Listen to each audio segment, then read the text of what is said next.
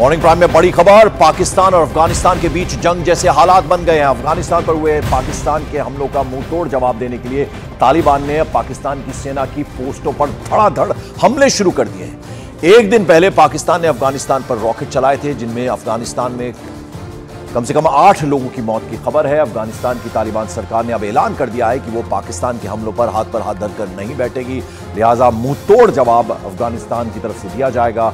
अब जिस तरह से एक दिन पहले पाकिस्तानी हवाई हमले किए थे, उसका जवाब देने के लिए अब अफ़गानिस्तान में जो तालिबान की सरकार है, पूरी तरह से तैयार है और जवाब दिया जाएगा। ये तालिबान की तरफ़ से ऐलान कर दिया गया और फिर हमले भी किए गए।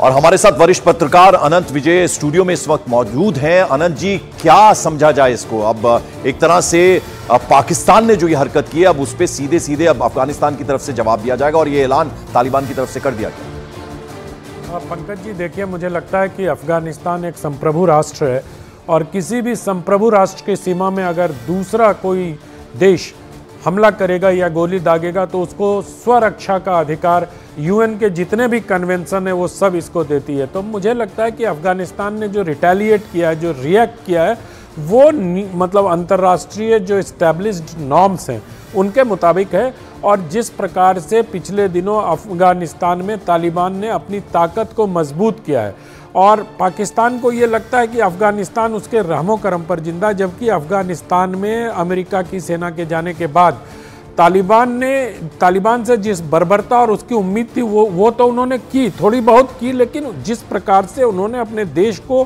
ठीक करने का काम प्रारंभ किया और जिस प्रकार ठीक करने के इंडिया के लिए कितना बड़ा कंसर्न है इंडिया के लिए कंसर्न तो है। देखिए किसी भी अगर आपके पड़ोस में दो मुल्क आपस में लड़ रहे होंगे तो आपके लिए चिंता की बात तो है क्योंकि एक समृद्ध पड़ोसी आपको भी समृद्ध करता है। बिल्कुल। और अगर आपके पड़ोसी आपस में ल...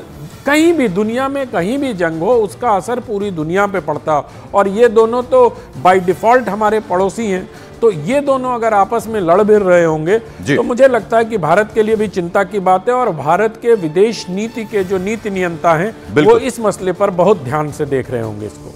तो चलिए अब बढ़ते अगली खबर की तरफ़। मॉर्निंग प्राइम में बड़ी खबर, उत्तर प्रदेश से आ रही है। पूर्व मंत्री स्वामी प्रसाद मौर्य के खिलाफ एफआईआर दर्ज कर दी गई। है स्वामी प्रसाद मौर्य के खिलाफ सोशल मीडिया पर माँ लक्ष्मी पर अभद्र टिप्पणी करने का आरोप है। लखनऊ पुलिस ने माँ लक्ष्मी पर अभद्र टिप्पणी के मामले में स्वामी प्रसाद मौर्य के खिलाफ मुकदमा दर्ज कर लिया है। वजीरगंज पुलिस इस मामले की जाँच में अब जुट गई है। सोशल मीडिया पर महालक्ष्मी पर यह भद्र टिप्पणी की थी। स्वामी प्रसाद मौर्य ने पूर्व में मंत्री रह चुके हैं और इसको लेकर अब पुलिस जो है, वो मुकदमा बाकायदा दर्ज किया गया और अब पुलिस एक्शन लेने की तैयारी में। वजीरगंज पुलिस इस मामले की अब पूरी तरह से जाँच में भी जुटी है।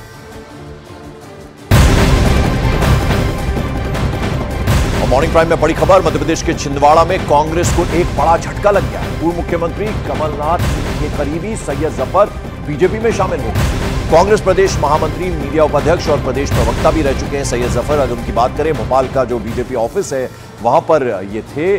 प्रदेश बीजेपी अध्यक्ष वीडी शर्मा उसके अलावा सीएम मोहन यादव ने पार्टी की सदस्यता भी उन्हें दिलवाई है। तो बीजेपी में शामिल हो गए। एक बड़ा झटका कांग्रेस के लिए कहा जा सकता है। सैयद ज़फ़र का बीजेपी में शामिल। हो